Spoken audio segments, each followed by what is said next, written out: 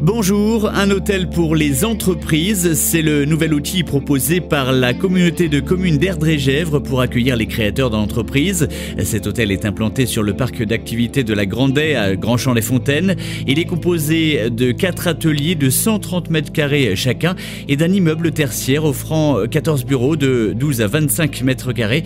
Il accueille des porteurs de projets et des entreprises de moins de 3 ans. Il a paru euh, important de pouvoir euh, au-delà de l'accompagnement à la création, une fois que l'entreprise était créée, de pouvoir euh, accueillir ces, entreprises sur le territoire, d'où la, construction de cet hôtel d'entreprise.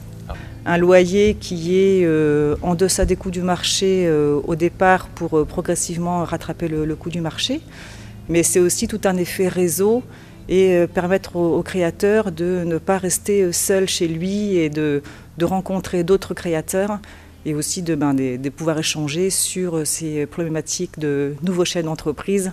Au jour d'aujourd'hui, on ne se connaît encore pas tous, on s'est croisés deux, trois fois par rapport au bureau puisque c'est récent. Et puis de créer une ambiance, euh, voilà quoi, qu'on ne soit pas chacun dans son petit bureau, fermé avec les... Si on peut créer une ambiance spécifique au lieu, ça peut être sympathique.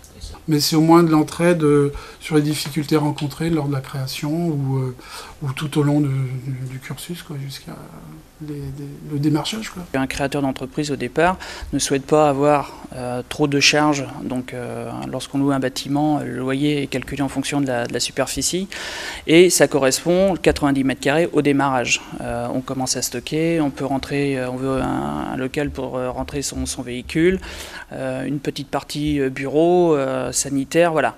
Donc les 90, enfin les 130 mètres carrés de, surface au global correspondent justement aux besoins du, euh, créateur euh, artisan bah, J'ai fait à partir de chez moi en fait. Hein.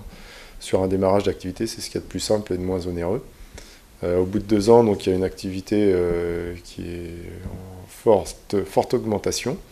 Donc il fallait réussir à trouver un endroit où on puisse téléphoner tranquillement, avoir, une, avoir vraiment une zone, une zone particulière pour, pour travailler. En fait. On n'a plus de limite, on met plus de limite quand on travaille de chez soi on se retrouve euh, toujours pris euh, par un coup de téléphone, par un mail, par euh, voilà, et donc il n'y a, plus de séparation entre la vie familiale et la, vie professionnelle.